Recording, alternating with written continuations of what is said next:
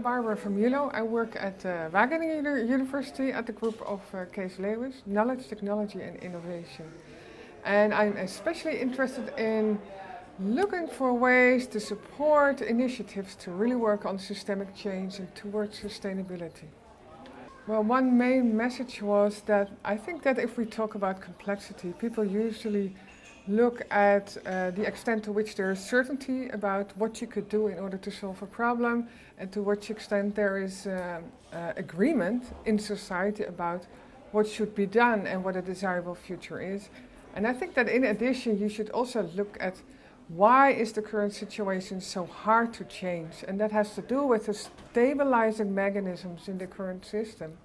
So it's also needed to address those. And then the second issue is that, that I um, presented ideas about how to develop reflexive monitoring evaluation approaches that will help support those processes of change. So what I find inspiring here is uh, ideas coming together about emergency and not looking from predefined goals, but really looking at a uh, change process as emergency. What is emerging? What kind of learning is taking place, although it's not facilitated in workshops, but more naturally?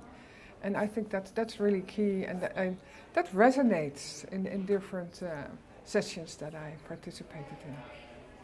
If you look at, at innovation process as a as a process in which a lot of decisions are taken, a lot of choices are made. Whom am I going to include as a partner?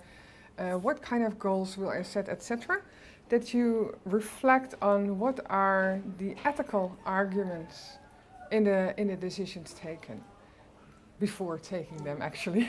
and um, I think that would really add to the responsible character of an innovation process. And I think um, monitors and evaluators can, can easily have such a task in order um, to, to get people to reflect on those issues. What, what I think would be very, very good is to sort of uh, form peer groups of evaluators who are looking for other ways to work on evaluation and, and to find room to negotiate with commissioners, to do evaluation in a different way and to help each other out. I think that would be the, the best start to do.